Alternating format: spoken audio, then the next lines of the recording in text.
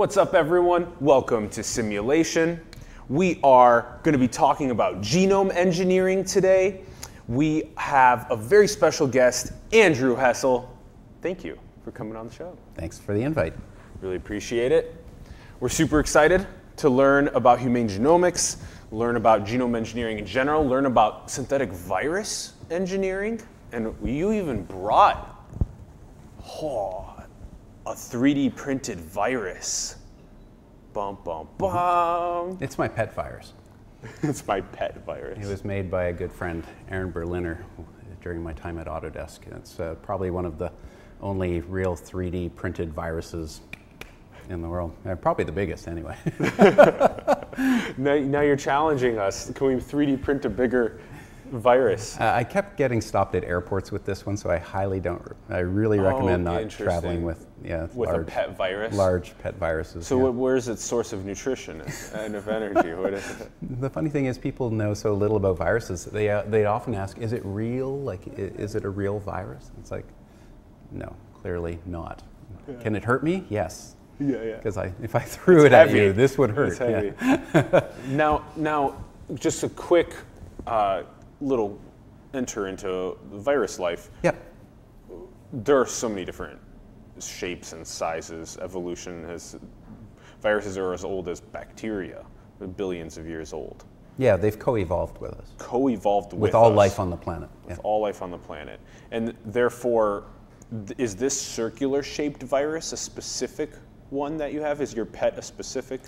Uh, this, is, this is a particular virus uh, called uh, PhiX174, which has got quite a long history in genomics because the genome of PhiX174 was the first DNA genome ever sequenced, um, and it was the second genome ever synthesized. Hmm. So it, it's just one of my favorite viruses, and there's people that have devoted their lives to working with, uh, working with this virus and understanding its biology. It, it's safe for humans, it only infects bacteria.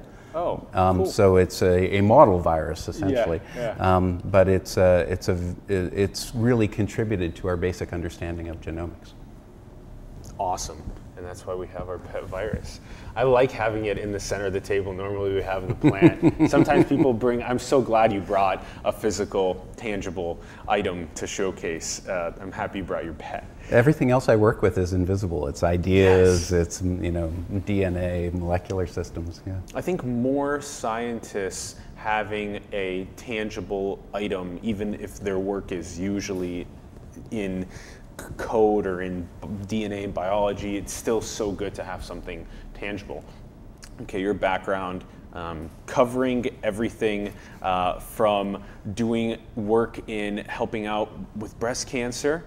That's huge, helping figure out how to solve breast cancer, um, helping out, and that, and that organization was called the breast, sorry, the Pink Army Cooperative. Army Cooperative. Yep. And then you were the founding director there then a bunch of research at Autodesk, mm-hmm. and that was seven years or so of that. Uh, I, about six and a half years. Six yeah. and a half years, and then at Singularity University, bioinformatics and biotech co-chair. Yep.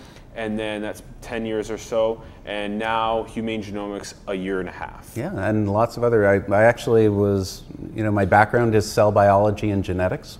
That was my my focus when I was in school, and then I uh, I aborted my PhD program and I went straight to the biggest biotech in the world at the time and, and kind of learned on the job during a very exciting time when uh, the human genome race was underway between kind of the public groups and the private groups. Um, it was a fascinating time. So I've, I've, I just have never really left school. I'm always learning, I'm always prototyping, I'm always on the you know, exploring the forward edge, and it's a privilege to do it. Um, yeah. I, I, I, open doors. I, I, I, shine light into dark little places where people may be afraid to go. Yes. And I try and prototype things by doing them so I have some real world experience. But I, I, you know, particularly in the world of cancer, I just want to make the point that I'm not going to be the one who cures cancer. There will be a lot of people that kind of do that, but it is such a major area of R&D because we need to explore the systems that produce cancer and the various molecules and, and tools that we have to kind of defeat it.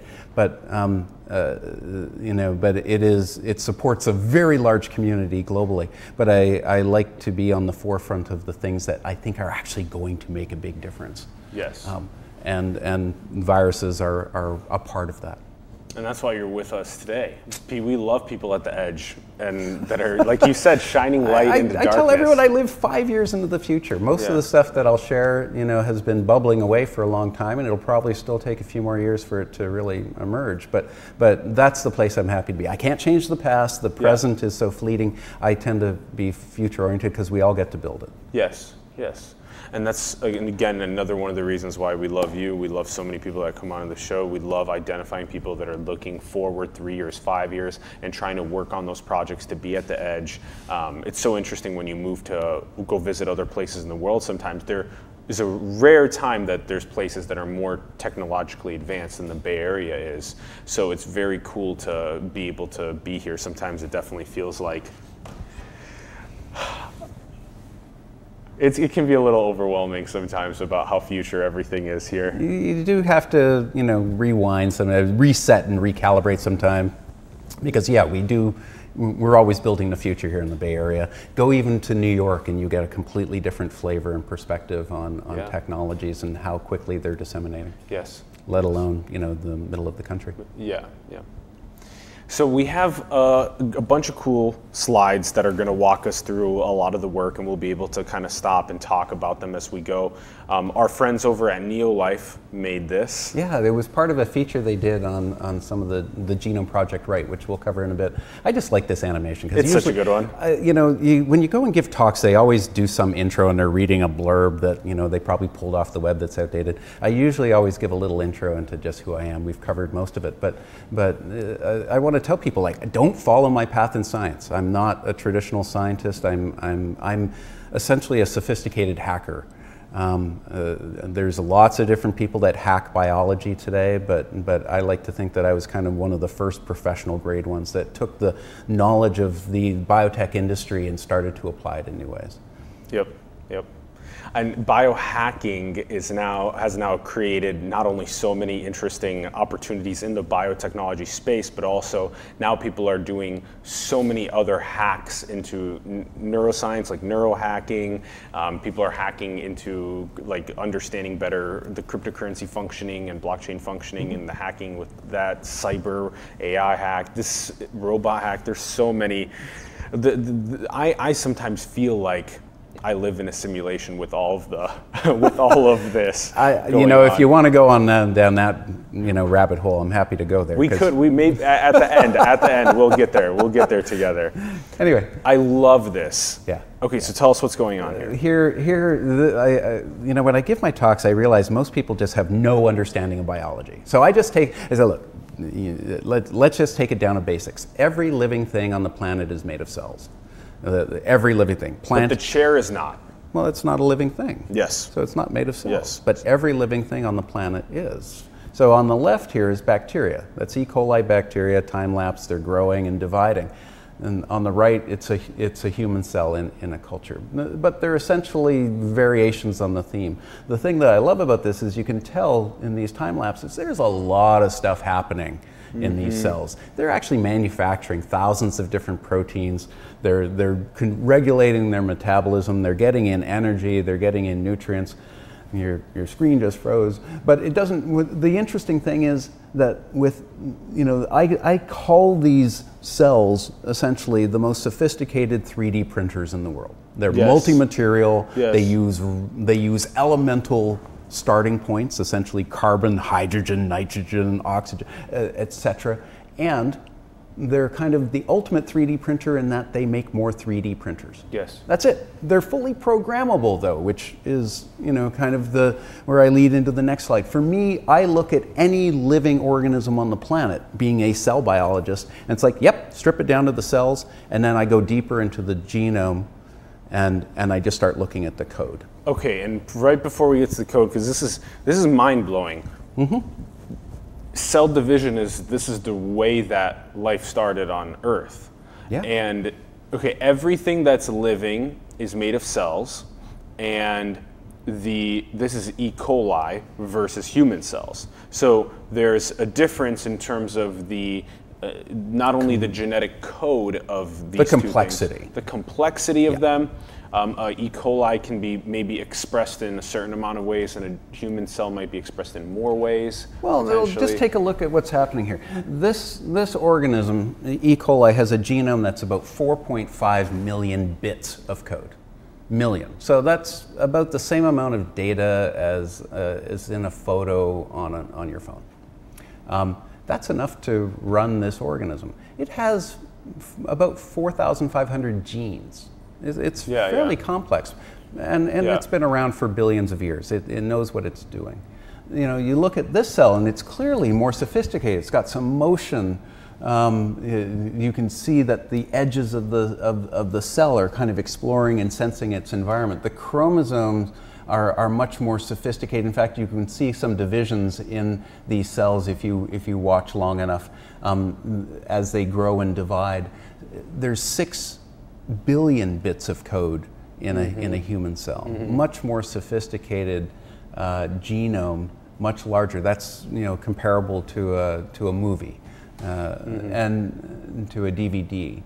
And, and yet they basically do the same things. They, they run metabolism, they organize the cell, they adjust to the environment, and ultimately they make more of themselves. And then the, their their genetic code is expressed in certain ways depending on the functionality that it needs. Yeah. Like at the, if you strip this down to the basic cellular, here's a cell dividing. Uh, if you strip it down to its basic cellular Crazy. machinery, it's actually v- very similar. It uses the standard genetic code. The chromosomes are a little more sophisticated in their organization. There's a lot more code, but even the machinery inside the cell that reads the code and interprets it and makes proteins, it, it's all based on a, on a, a similar template. So the, I like to say that you know if you study genetics and cell biology, you really study every living thing, mm-hmm. and there's only one programming language to learn. Mm-hmm. Mm-hmm. Yeah, it's not. It's not like you have to learn a whole stack just to go and put up your you know your your web page. Yeah, yeah. well, the central dogma of biology is good to learn in order to understand this better, which I have such a long way to go to understand it. But this is fascinating. I'm really happy that you brought this with us. Okay, now in terms of the code, okay, four.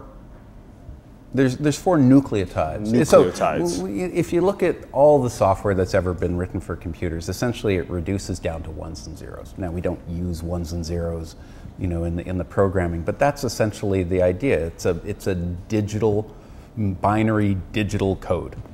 And, and, you know, everything computing is based on that. Everything living, eh, it's based with a, with, with a four base code. Um, it's not one and zero, it's A, T, G, and C, but, but the code essentially is sufficient to create every living organism that exists today or has ever lived. So there's a tremendous amount of flexibility in the code, just as ones and zeros have produced every bit of software. Um, so uh, this is the code I love to play with, and in fact, the you know most of my career has been spent at the intersection of mm, the di- of, of digital biology, of, of taking this code. You can see it's kind of just a bunch of A, T, G's, and C's in a computer file. It's in a computer file, so ultimately it's A's, T's, G's, and C's that have now crossed over into the world of zeros and ones, yeah. and that that intersection uh, of, of the chemical DNA, the polymer, and, and the digital world um, of computers has, has really been my life. Uh, I started doing this, this work. I started working with computer software in the early 1980s. I started focusing on bioinformatics in, in the late 1980s, and, and now the, the intersection just gets more and more interesting. and, and the six a billion bits that you were talking about earlier are the, in the human cell are the six billion letters. Yeah, yeah, because a bit is essentially a letter. is a letter. Yeah, bioinformatics. It's been it's 40 years now. That's been growing and, and changing, and now uh, to be able to now we're going to talk more about reading Yeah, the well- HTCs and Gs and then being able to write them. Yeah, what I tell people is that it's a language. Yeah. Like, uh, uh, you know, we, we talk about we talk about DNA as being a blueprint. Uh, well, blueprints are a language too. It teaches people how to go and build something. Um, And this means everything from coding uh, like a, a cell of a heart this- all the way this to code coding will the color of your eyes to coding something that is a genetic uh, d- something that's causing suffering because it's uh, harming you genetically like the code the code makes the organism, runs the organism, handles all the repair of the organism, handles the Yeah. duplication or, or, or recombination of new organisms. So it's it's really important. If you change the code, you change the organism. Yeah Uh, and uh, that to me is fascinating. That's why, as a cell biologist, you look at the code and you realize, hmm, what would I like this cell to do today? And and you know, you've got a language, a programming language, to go and do that. And we've, you know, we we first determined the structure of DNA in, in 1953. We figured out the lexicon of DNA, kind of cracked the genetic code in the that late was 1960s. crick and Well, no, they didn't crack the code. The, They, they cracked the structure. Sure. And by understanding the double helical structure, you can you realize it's like a zipper. You can unwind it, and they realize, oh, well, that explains how you can make copies and duplicate. But but it wasn't the cracking of the code, understanding A's, T's, G's, and C's, and how that turns into proteins. You know, which are the structural and, Yeah. and metabolic components of our cells. That took until the 1960s.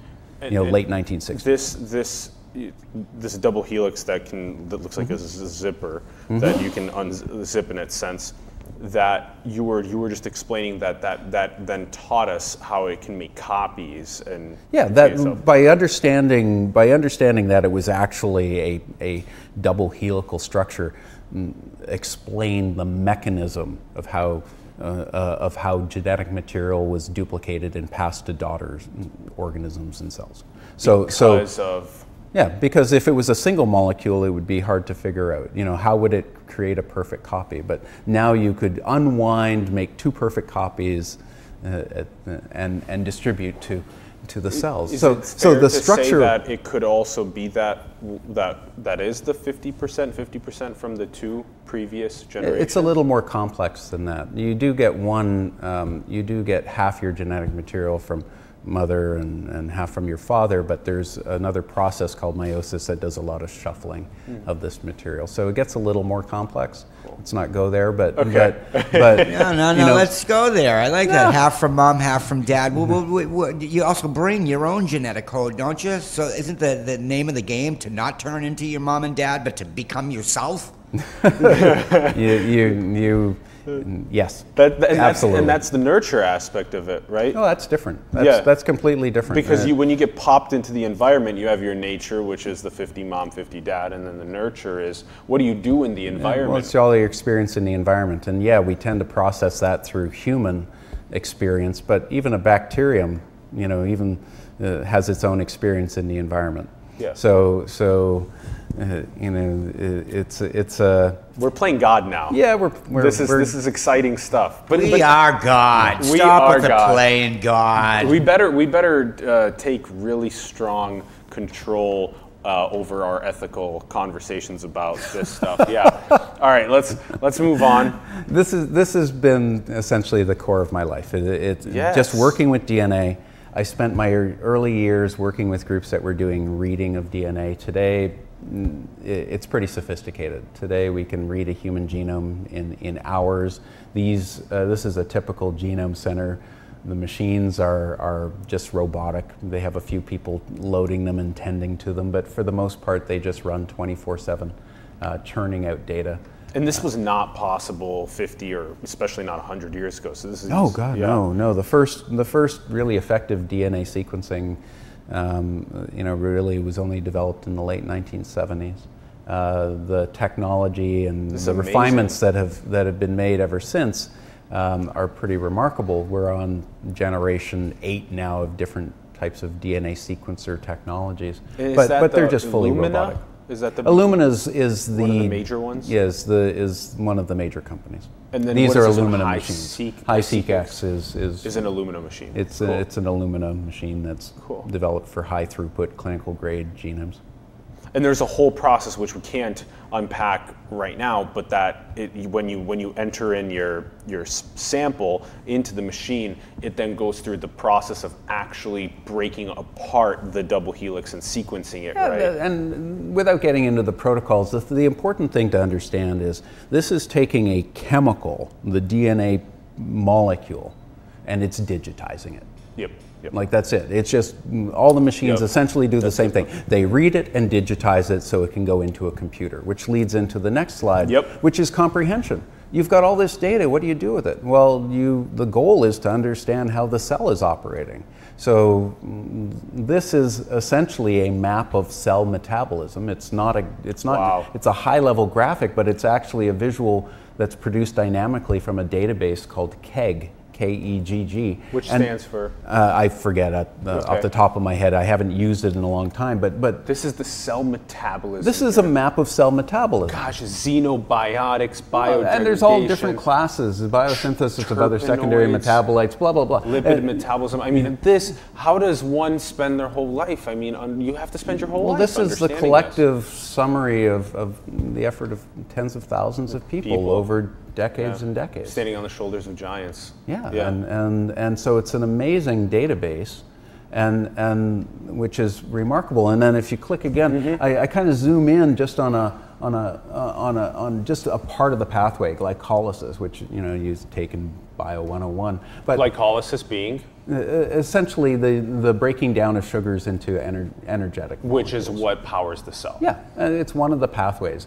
So, so, but every single box that you see here has a numerical code, 5.3.1.1 for this one example. Those are enzymes. Those are enzymes that catalyze the reaction, in this case, you know, from, from this molecule to this molecule. And, and there's various pathways, it's all branched. But just by mapping all of these enzymes, et cetera, you kind of build a roadmap of all biochemistry. And the cool thing is, if you drill down to any of these enzymes, because we've sequenced genomes, we can actually get the code for that enzyme and clone it, for example. So, so all of cell metabolism is essentially mapped, and that's kind of the feedstock for being able to do designer genomes.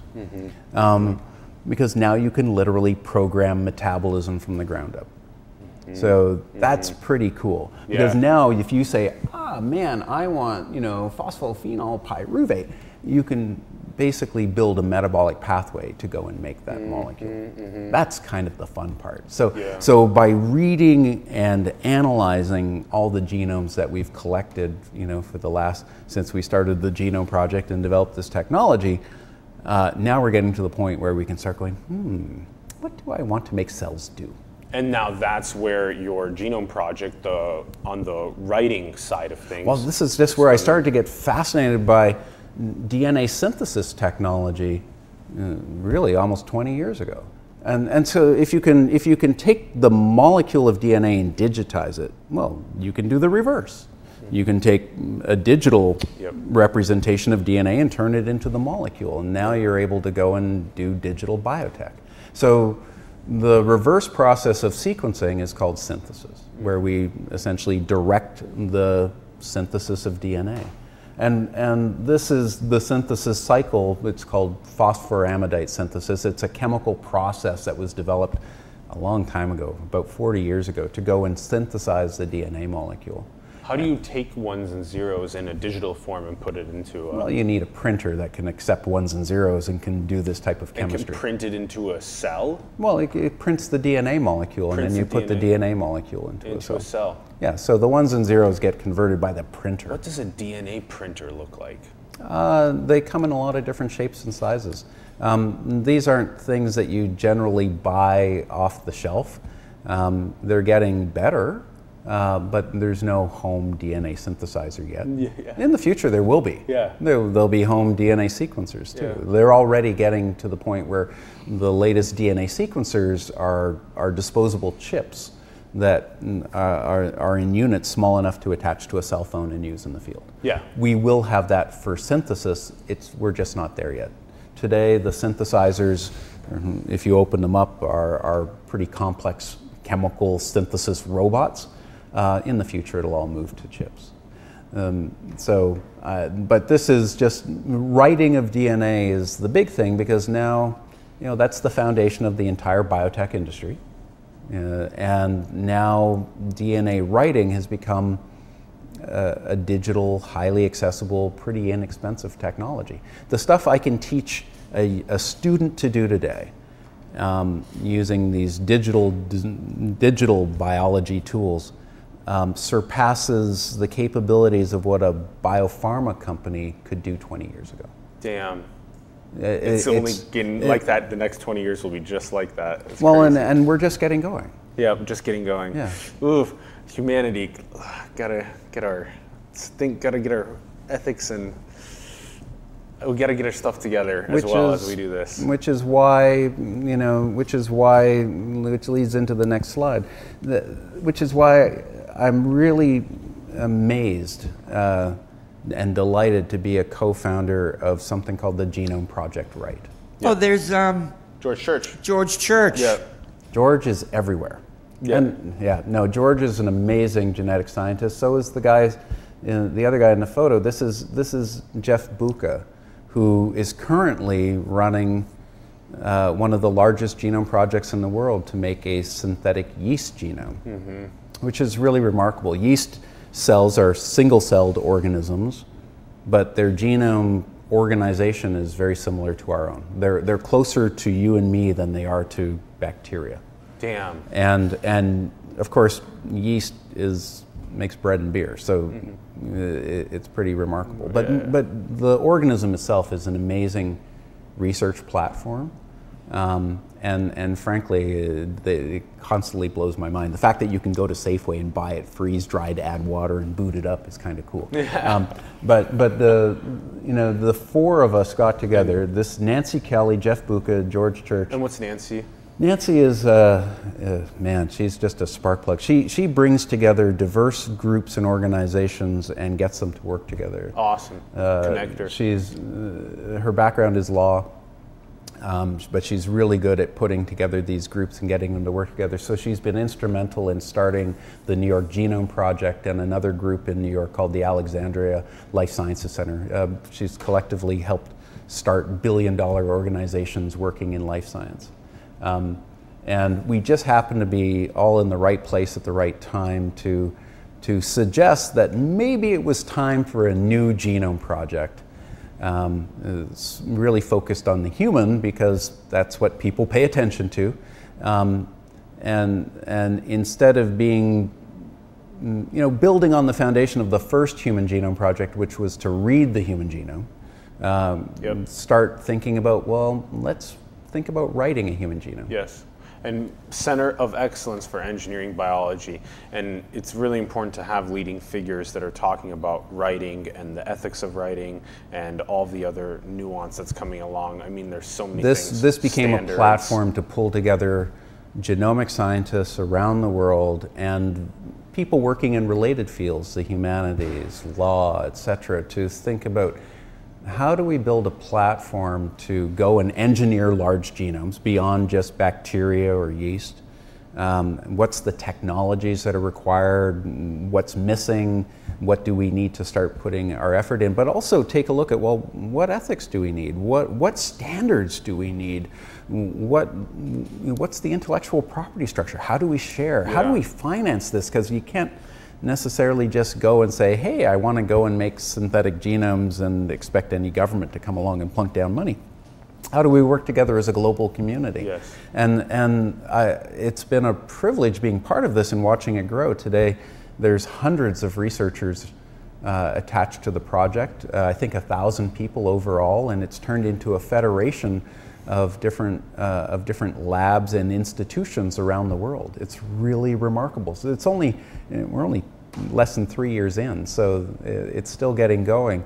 But just with the rate of evolution of the technology, um, I expect that we'll have the first synthetic human genome made. And I want to be clear, we're not making synthetic babies. But just being able to synthesize a large genome like the human genome and getting it to work in cell culture is massive. But I expect that we'll have the technology to do that uh, within a decade. That's pretty remarkable. Yeah. Synthetic babies. Well, a lot of people ask me about synthetic babies, and frankly, I don't have a problem. I have two engineered babies. They're the product of IVF. We just crossed the 40 year threshold of, of the first IVF, IVF. baby uh, last week, In July vitro 25th. fertilization. In vitro fertilization. And what, what, what is the process for in vitro that rather than inside? It's, it's basic cell biology, basically. You're, you're, you're, How does it get its nutrients and its well, we didn't, you know, you only do the work to make the embryos in the lab. They're five days, they grow in a nutrient solution, and then you implant them into the mother. So you they said- grow like a normal baby. They uh, five five five day, five days is how long it takes for the embryo. They grow the embryos to five days to, to basically make sure that they're growing and dividing properly. and how many about cells is that? Does that become? Oh, it's a few hundred cells by that time. hundred cells, Yep. and then you can just implant it into the. Yeah, it's a, like a it five-minute ac- procedure. And it just accepts the. the, mm, yeah, the, mm, the uterus is a pretty amazing organ. Yeah. So he says he's not developing synthetic babies, but then No. he goes on and tells us how they're Well, we've, we've been babies. making designer babies for 40 years. Um, now, we're not designing their genomes, but we've, Yeah. we've taken control of the reproductive process. It's 40 Yeah. years. And, now, uh, what's a reason why we would do IVF? well, there's a lot of people that just can't naturally conceive. So, Yes. by being able to mm, take control over the process, move it into the Well, lab. maybe they shouldn't. maybe that's why they can't naturally conceive. I'm just saying. The reason we are alive is not to make podcasts, uh, it, it is to go and make babies. That's the reason that we're here. It is the fundamental biological drive survive and reproduce. and, and, it, and it seems as though the although the procreation and the the continuation of the genetic code is yes the reason you know why we're here at the same time it's starting to become more and more clear that we might not need so many people having offspring the more countries that become developed the lower the fertility rates become Yeah. the more medics cultural information transfer becomes a priority geopolitical leadership becomes a priority these different types of conversations are now being had as well which is very I'm, interesting I'm not qualified to really comment on all that, but I just, you know, right you now. but but yourself. right, so Yeah. I have two IVF babies, yeah. Uh, and and the thing that I've learned about this, because I was really resistant to having children. I wasn't from a particularly um, family-friendly home. Uh, we are my by nature. I think our my family tends to all scatter to the wind. Um, but that being said, uh, I, I am getting a PhD in in uh, in babies, and it is you know it is the hardest course I've ever taken. But also the most satisfying. Like, Yeah. uh, my babies teach me a ton, more than anything I ever learned in school. So, so that's very interesting it, it is a very educational process to, to mold a mind into this Well, that's just it. You you're creating bodies and minds, and uh, and you don't really have that much control. So it, it's very humbling. Mm-hmm. Um, I don't have that much control over the organisms I work with in the lab either. I think that you know I think that the whole idea of designer biology in some ways is is um, is pretty romantic. yeah yeah designer biology But, but I do take it to heart that if you Yeah. start to work and design biological systems in any capacity, you have a certain responsibility because you become the parent of that system. And all you have to do now is just take the the um, the IVF scenario and and and le- potentially leverage some of your technology with humane genomics to be able to edit as you please, or any new CRISPR technology edit I, as I, you please. I don't tend to think about the human genome at all, other than let's go and demonstrate that we can synthesize a human scale genome. Like that's uh, apart from my babies. but there is like eradicating disease. That, Well, yeah, like, well, if you know there's so- going to be a disease, then So we talked about this earlier, but but the you know kind of the the you know the push to go and read the human genome, which was really controversial when it was first proposed in the 1980s. The the big reward that was promised out of that is we're going to better understand human life in, in health and disease because we'll have the code. Um, well, that's great. Uh, when you have the ability to synthesize a complete human genome, that reduces down to theoretically you should be able to fix any genetic disease. That's pretty cool. I'm, and, and let's just leave it at that. I don't want to talk about enhancement. I don't want to Let's talk about engineering us for space. Yeah. But, but that is the big promise of having synthesis technologies. Something's broken, you want to fix it, we got the tools. Yeah, yeah, and augmentations are also very interesting, but we'll Yeah. hold off on on that for now. Because will augmentations be available for only the ultra rich? We'll see about that. No, biology's cheap. Like you run on Doritos, you know, probably. you know, like, like people, like biology is cheap. I, I when when you get this uh, the, these ideas that it'll only be for the rich, that's just that's human economic distortions. It has nothing to do with biology. Well, Biology- How, how about this? Rather than it, it, it, not not not not to straw man that point, because Mm-hmm. straw manning it is just to say like, oh, it'll only be available for the rich, because that's just a straw man. Because yes, over time, exponentials decrease the pricing of costs, and therefore. Uh, it even becomes available to middle class And biology is But- the ultimate exponential technology.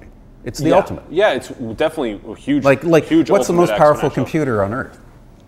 Super. Between your ears. The human. I was going to say. It's between your ears. Yeah, I'll- and and how much does it cost to make now, a brain? For now, maybe even not anymore. Yeah, we'll see. but- but- but but we're, we're still we're still forgetting one of the major principles of the conversational point, whi- whi- which is which is I, I do I do f- I do firmly think we are severely underprepared for genetic enhancements because we do not understand how much a genetic advancement for somebody that can initially afford it will end up accelerating their offspring much more quickly than the poor and middle class would be able to afford it. I think that might be the case, and it might not be, and I might be wrong. Look, uh, if you if you just look at the numbers, mm, the wealthy are being outcompeted uh, in, in terms of just more population, and and and yet the tools that we have being wealthy are becoming available for everyone so fast. So, uh, you know, I don't know where it goes, but all I know is this is a remarkable time to be alive I, thanks for saying that. remarkable time to be alive. I agree. And and I think this planet, uh, you know, can support far more people than we have today if we just manage resources better. And it's a big universe, you know. Like I try and remember, Yeah. we're just one tiny little piece of rock. So Yes. so I, the whole idea of, of the population bomb and uh, you know was discounted long ago. Now people worry about falling populations. I think it just comes down to resource management, and and you know there's no reason why we can't do things a lot better. Particularly because these technologies, these biotechnologies, allow us to really make sustainable resources.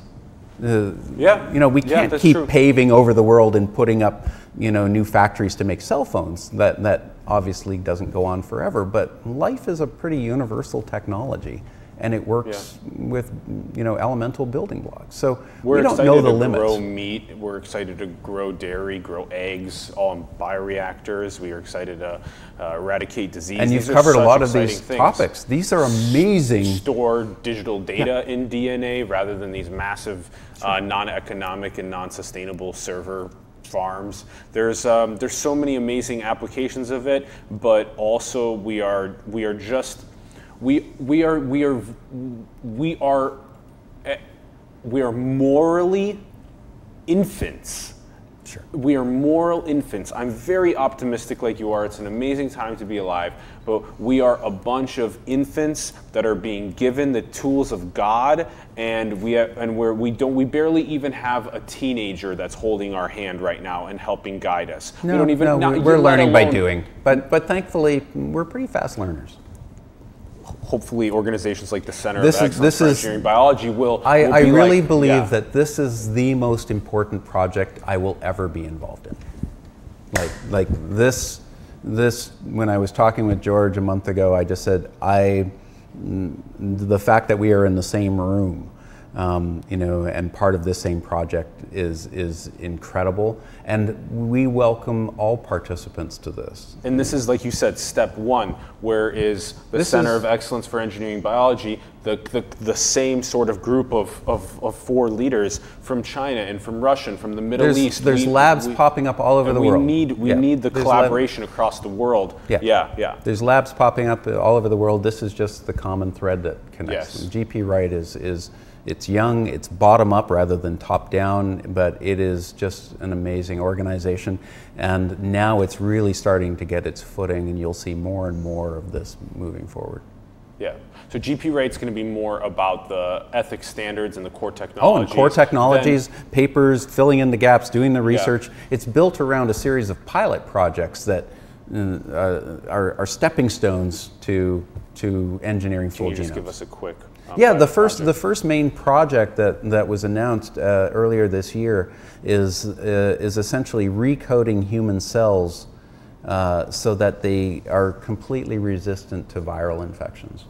Um, and this is building on technology that's already been developed. It means making about a 1% change across the human genome to essentially remove certain uh, triplet codons from the cells. But when you do that, the viruses are simply not able to infect those cells. This is important from a research perspective, it's important from a manufacturing perspective because a lot of cells are used in manufacturing of, of other proteins and biotech products. If a, if a virus gets into those reactors, they can completely contaminate and shut down the, uh, the production of an important medicine. Yeah. So that's, Okay. that's one of the pilot projects. Uh, For the production of, of a certain medicine, but Yeah. not. But is this also for humans to become? no, no. no. Right No, now, no, okay. right now, you have to understand nothing Okay. we do in the Genome Project, right, is about engineering humans. So, so for It's about engineering human cells and being able to develop the technologies to work at human scales. And even then, the, the reason why we're working with human cells rather than a mouse or a monkey or anything like this, it's because human working with the human brings in humanity. Yeah. So people go, oh, this is about human, not bacteria or mouse, or some yeah, other yeah. organism they Yeah. can't pronounce. That wakes them up. That's what. That's why the.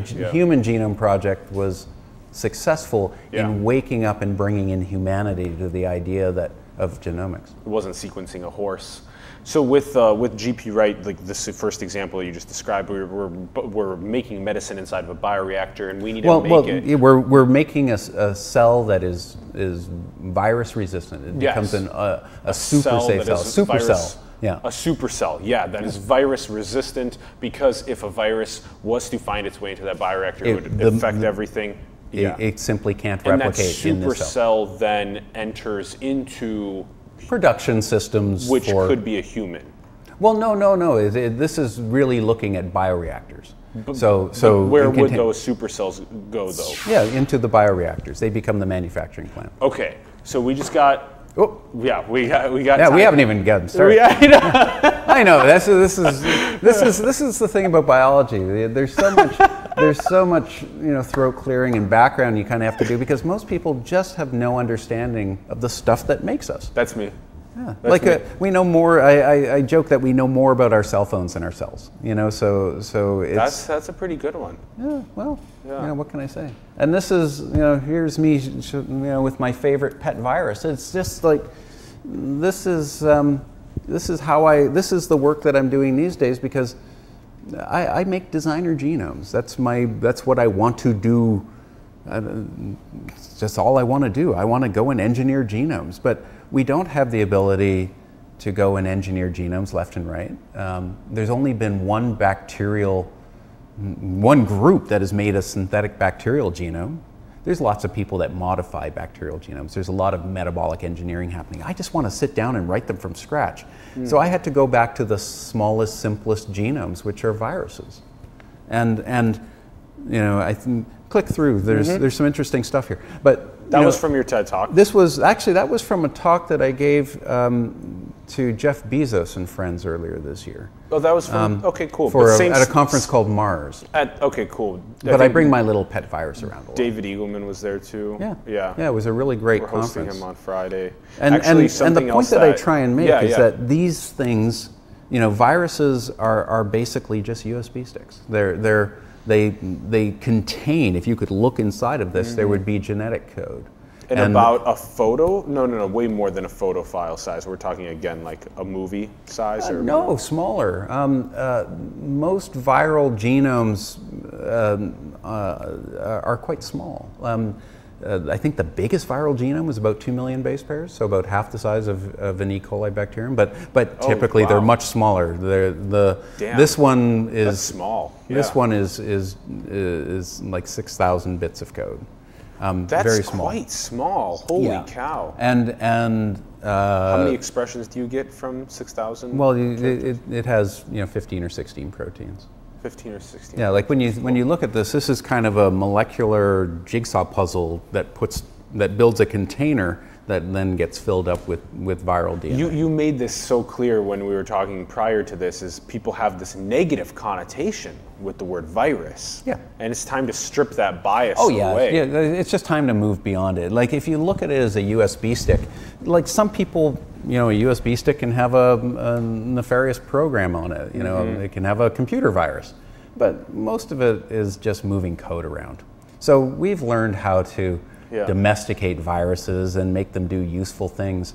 And, and even though, yes, there's viral infections that pop up around the world, whether new ones, Ebola, Zika, et cetera, um, you know, for the most part, viruses today save more lives than they hurt because we use viruses as vaccines. We use them for gene therapies. We're using them in state of the art cancer therapies now. So, virus engineering in general is just, I, I'm, I'm, I'm a fan because being able to make these, I think we're going to create an app store for being able to do repairs, do therapeutics, do diagnostics, not just in humans, but in basically every organism on the planet. Wow. I, I remember when you were telling me about the synthetic virus app store, I was thinking to myself, damn, that's a pretty relatable way to, to explain things. So, so then you take these, uh, these, this digital biology that you've written, and then you have that uh, enter into, uh, into, you make that into a, a DNA, into. Yeah, we can design a viral genome from scratch. They're relatively small. We've got computer software that can easily handle the design process. And when we've finished tinkering with the design, remember we get atomic control Yes. over, over that design. We can hit print and send the file to a DNA synthesizer and write out the entire viral genome. And then that. Take that viral genome that you've just printed out, it's Yes. just a piece of DNA, put that into a cell Via there's various ways of doing it. They don't really matter. Um, It can be CRISPR. It can be a no, no, no. CRISPR is, a, is another technology. To get DNA into, a the, cell, the nucleus, or no, right? well, No. if it's a bacterium, you just have to get it into inside. Yeah, Just Okay. getting it into a cell depends on the cell. With a bacterium, okay. it's so easy. All you have to do is heat it up. And it'll accept the DNA. Yeah, if you if remember bacteria work at E. coli work at body temperature, 37 degrees Celsius. If you have a fever at 42 degrees Celsius, the bacterium goes nuts. So it, it's literally dying from, from heat exposure. So it starts to accept DNA from its environment. It's essentially saying, "Help! You got any code out there that will allow me to survive?" Is that why the body temperature increases? Yeah, to- fever to will kill, kill. off bacteria. It slows the growth and kills them. I know, uh-huh. blow your mind. but you know, the reality is, if you heat a uh-huh. bacterium up to 42 degrees, it'll pick up free DNA from its environment. So that's how you can get DNA into a bacterium. A little bit harder with a human cell or a plant cell, but which you would need one of these technologies for. but that's why CRISPR you, or a virus or no, you just you do it in the lab. You make virus. Well, that's why you use a virus. yeah. A okay. CRISPR, a CRISPR construct still needs to get delivered into a cell. Okay. CRISPR is an editing technology. Yes. I know, I know it's a really Mainstream sounds media. really cool, yeah, but, yeah, but yeah, yeah, most yeah. people we're still. It's Okay. not common knowledge so, yet. So now, Anyway, okay, so now you are synthesizing viruses, Yeah. engineering, and then it is about six thousand or so uh, d- of these characters of, of yeah, yeah, so we yeah, so I started doing this work.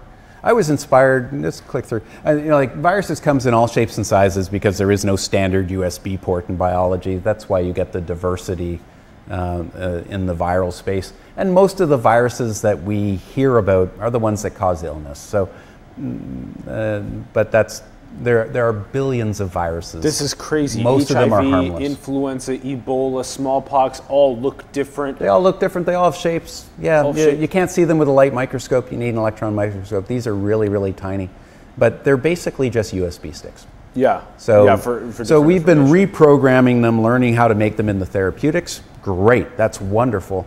We're just getting started because now that we have synthetic biology, we can take it a lot further. So There we You go. know, so so now we can become, they become therapeutics. we can make than- them really ther- like we can Yeah. design them to do just about anything. Some people worry about making them into bioweapons. That's actually pretty easy to stop. You just you you interfere at, at the point of the synthesizer. You can Oh, even it's, in- so easy. To you can stop. even interfere at the point of uh, of the design tool. But you know, really, if you want Yeah. to look at who's making the stuff we have to worry about, Mother Nature. Hmm. She's constantly mixing, you know, countless viruses combinations together in the world every day. and people with malevolent intentions. But yes, yeah. So therapeutics. So Mm-hmm. So this guy, most people have, don't know him. His name is Eckert Wimmer, but he made the first synthetic virus 16 years ago. So none of this is new. Like, uh, I, I wish it was. 16 years is pretty new, but yeah, Well, no, 16 years is forever. How long have we had the iPhone? Yeah, 10. Yeah. So, so, and we're on generation 10, right? Yeah. Yeah. So, no, this is uh, how many how many synthetic viruses do you think have been made? Maybe a couple thousand now. 25. Wow. Wow. So this is huge. You're you're really in uncharted territory now. Yeah. Well, this is just it. So, I love it. So, there's been kind of a blind spot in the synthetic biology community around synthetic viruses because, well, most scientists are paid with public money. Most public resources are not keen to work with viruses and make designer viruses.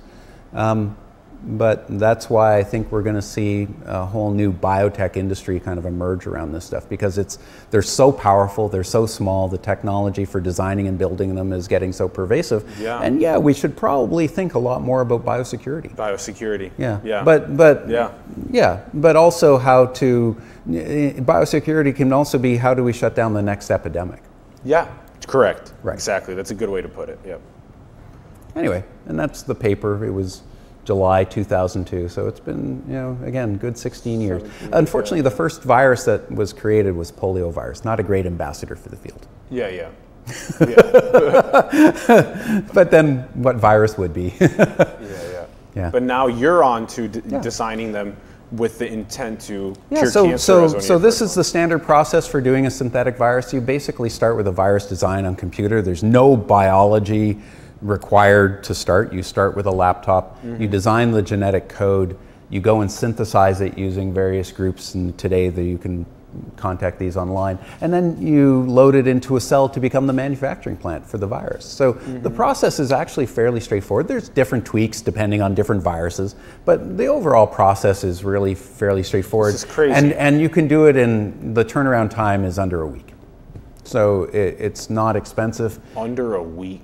Yeah. Damn. That's under so a week today, now. depending on the virus. Holy cow. So this is work that I did with Autodesk. If you go to the next slide, You just load DNA Yeah. that you write on your computer into a cell. Yeah, and then the next slide, I started doing this with Autodesk, which was a design group, a design software group, and this was the first synthetic virus we made uh, with them, and it's it's actually this virus, PHX174. Um, now, I, I wasn't the original synthesizer of the PHX174 virus. I just followed in the footsteps of the scientists that did it, just to prove I could do it mm, essentially mail order. and, and I did, um, which was kind of fun. It wasn't expensive, the turnaround time was pretty quick. And then we thought, okay, well, we've, we've made a synthetic virus. Now, where do we want to go explore? And I've always wanted to make cancer fighting viruses. So I found this guy, I was introduced to him by an anonymous emailer that said, Hey, have you heard about his work? This, this Dr. Bruce Smith ran one of the first clinical trials for cancer fighting viruses in, in a type of, uh, for a type of bone cancer in dogs.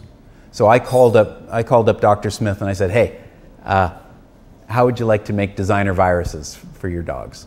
And, and he said, That sounds wild. Mm-hmm. Um, uh, but we've become really close in the years subsequent. And we were successful. We made the first completely synthetic cancer fighting virus uh, suitable for dogs. And now we're continuing that work with the company that I founded last year, Humane Genomics. Um, so we're now we're, we're just iterating. It's always design, build, test, design, build, test, like any type of other engineering process. And with Humane, you have this um, automated development personalized therapies, and then here you show us kind of exactly Quick the- walkthrough. the You always start with yeah. one animal, one patient, so to speak. You, you study their particular cancer cells. You go and, and take the information from their cancer cell and you go and actually use that for the design process. You make the synthetic virus, you test it in the lab on their particular cancer, and then you go back and, and treat the animal. So this whole process is essentially fully personalized therapeutics. Yeah. And, and that's what I've been championing because it's incredibly fast, it's incredibly cheap, it's always state of the art. And I think it's the biggest revolution in drug development that I've seen in my lifetime. And so you so we take a biopsy from an animal that already has uh, the cancerous cells, and then you're so then You study that particular cancer because no two cancers are the same. Uh-huh, uh-huh. You use the data from that cancer to drive the design process to make a virus specific for that cancer. And then when you give it, when you put the two together, it's like giving the cancer cells the flu. Yes, Normal cells are unaffected. affected. Cancer cells get the flu, they die off die pretty off. fast. Wow, super targeted. But you do have to take a biopsy. That's yeah, one, you always have to start with the cancer you want to kill. Trying Yeah. to, we've, we've got. because you have to understand it more than just it's yeah yeah. We've yeah. got a lot of data that shows that making one size fits all cancer medicines just really isn't, Isn't working. work. Now, now that's is that is that true that like cancer is like snowflakes? Every cancer. Every cancer is different. Wow. Even It's like an infection in your body with your own cells. with your own cells. Yeah. So then, of course, it's going to be different then. Yeah. Yeah. Wow. anyway, so you know, I like to say that when it comes to personalized medicine, uh, it's dogs Who's that are going to good lead the way in pretty much all of it. Yes. Yeah, I love it. Yeah. Yeah, cute dog. Uh, but yeah, dogs They'll are really starting to lead the way. You're, it's- we're seeing more and more dog studies, and these aren't research dogs. These are companion dogs. These are dogs that you know are part of our households and our families, and we're highly invested in giving them great, you know, great care. Um, you Yeah. know, so I think uh, certainly with we're seeing it in cancer, but I think we'll see it in a lot more treatments. Yeah, uh, yeah, and this this is a Brand quote quote. that I just think is so important these days. Stuart Brand, Yeah. uh, you know, prescient. Uh, just, are as we are as gods. gods. We might as well get good Good at at it. it. And and yeah, these technologies are pretty powerful. Um, Yeah. and and they're they're advancing really rapidly. So I think my my first quick question on the way out is that um, what would you say would be the map, the roadmap for humans? Besides, you know, you guys have the the genome project on the on the right side of things, on the writing side Yeah. of things. What would you say is a good way for us to figure out how to pair ethics and morality within um, the engineering and the designing of being the, the gods? Well, I, I think it's kind of a natural progression. Um, look, right now we're seeing, um, it, just take IVF for example. You know, we've just crossed the 40-year threshold. There was that was controversial in the day, but now we now we have something like six or seven million IVF babies. You know, helping, and that means we've helped a lot of people that couldn't otherwise get pregnant get pregnant. That's pretty cool. That's a great use of technology. It's not controversial today. Um, I think uh, we start seeing CRISPR technologies, which are genome editing technologies. Potentially, we could use them for augmentation. We're not ready. We don't know how to augment humanity. But now it becomes a tool for doing genetic surgery. And if there is a chromosomal abnormality, now we've got a new tool to go and fix it. I think we'll see that come into human society relatively quickly because, of course, we're going to use every technology available to help, you know, a, a baby live a happy, healthy life. Um, I think when it, I think kind of the next step after that is people um, using some of these technologies for for self exploration, self experimentation, because you have dominion over your body. And if you want to add a tail or glow in the dark or change your eye color or whatever, frankly, uh, I think it's no one's business but your own. And these tools are going to eventually become accessible enough and safe enough and robust enough to be able to allow that type of experimentation. And from that experimentation, we might actually get some clues as to mm, what's safe for, for larger populations. Uh, I think it's just an incremental stepwise process. And, and if you kind of pull back and look at this in, in a longer time frame, um, this is a really powerful tool for, for evolution, not just of, uh, you know, we've been evolving not so much physically anymore as socially. Um, I, I think that now we start to be able to take that intention and take our, our idea of society and culture and, and actually start to apply it to our physical form. This, as we, as we repair the environments on this planet, um, these tools will be important as we start to think about how do we go to other places, whether it's the moon or Mars or just orbit. Um, uh, uh, you know, being in a, in a, in a uh, without gravity. Now we have some tools potentially to, to allow us to thrive. I don't know how it all plays out. I don't. Uh, I wish I could be around. Breakdown. That was yeah. a pretty good breakdown, Andrew. And, and it's, um, I think we, we, we will we'll be having more of these conversations moving forward uh, at larger scales, hopefully in larger theaters with larger online audiences, um, and eventually in in sports stadiums where we can literally have 50,000 people all figuring out the future of the ethics and moralities and all and the complications of design in and engineering general, around these subjects. In general, we, we become better to each other over time. Like uh, you've got Steven Pinker's book yeah, over there course, on your bookshelf. Nature, yeah. So, yeah. so, but we are approaching an age that we've never approached before, uh-huh. and there's a bunch of different existential risks that are approaching, and there's a lot of geopolitical tension that still exists. Yep. We are not that far away from the previous times we've had geopolitical tension. There's still just some that's going on on the Earth right now. Um, but you're you're generally right. Let's see what happens, um, and let's have more conversations about making sure that what happens is prosperity. Um, Andrew, do you think we're alone in the cosmos? No. No. I, have I've never, uh, it's a pretty big place. and uh, uh, let's just say that we there's still so much to learn. And do you think we're in a simulation? Uh, yeah, of course, because you, you're, everything you think you know is in a piece of meat inside a bone box. So you live in a simulation. That was the I, first time anybody answered that question. Matter of fact. Yeah, matter of fact. Yeah. So okay, so because we are because uh, because our perception is trapped inside of this meat. Well, and our perception is so limited on limited, every scale. Correct. And yeah. and the data that's coming in is being modeled in a piece of meat. Yeah. Yeah. You live in a simulation. You don't live in reality. yeah. Let's take him out to lunch. Yeah. Let's hang out with him. Yeah.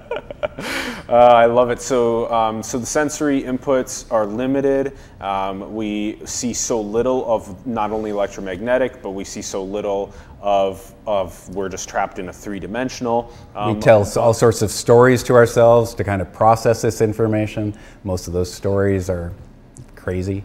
Um, you know, call it self delusion. So, the, so there, so therefore, therefore, who is the simulator? Would be a follow up. Mind your business. what do you, I love Ron. what do you What do you think? Do you have any idea? Uh, no, I, I think that that's a, just another vast place to explore. Cool. Um, we have not, um, we haven't really started changing and, and, playing with our meat processor very much yes. yet. Yes. Um, but that's just a, a, another sandbox as big as synthetic biology. Awesome. I love it. And then, how about what do you think is the most beautiful thing in the world? Uh, my kids.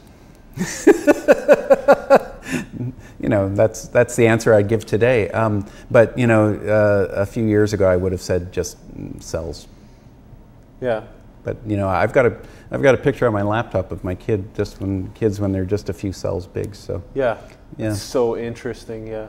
That would be a good one to add to a future conversation. this is these are my children outside. look, I, I don't care about most physical things. Most of it ends up in landfill. Yeah. I care about living things. Um, and living things are just some of the most incredible and beautiful th- things I can imagine. Agreed. Um, it, I, you know, they all start as cells. It doesn't matter, plant, animal, bacteria. Um, so they're pretty cool. Uh, I, the virus is a, is a little different because it's not actually alive. Uh, it's been described by Eckard Wimmer, the, the, who made the first synthetic virus, as a, as a chemical with a life cycle. I like that. Um, I like that terminology. But Yeah. uh, that's kind of the, the beauty that I see in a virus, besides its shape, is, is that it is. Um, i- i- it's essentially such tight genomic code Yes. that it is biological poetry. It is biological poetry. That's such a good way to put it as well. Actually, you've been spewing a lot of biological poetry at us today. Um, we've been learning about. You have. You have. It's been. It's been such a pleasure learning about biology in some of its most relatable um, forms. Thank you. Thank you for Thank coming you. onto the show, Andrew. Thanks for teaching us about all of this.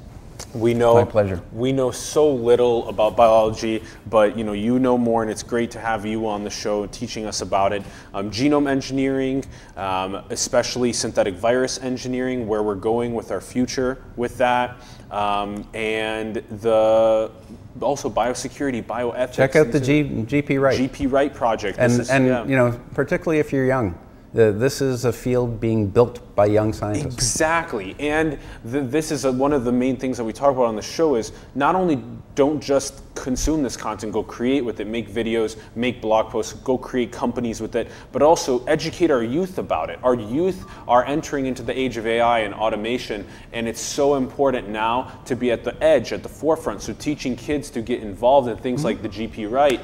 Genome Project-write, that is a really great way to be at the edge, be at the forefront. So get them involved, keep disseminating this information, go and share it with two other people. Subscribe, comment below, let us know your thoughts, join the community, join the family. We need your support on Patreon to help scaling this content, impacting more people. We accept cryptocurrency as well. That link's in the bio. Join us, fam. Let's get to sports stadiums. Let's let's get more people excited about this stuff. Let's support epic people like Andrew as well. Thank you, Ron, for producing and directing. Much love, everybody. We'll talk to you soon. Peace.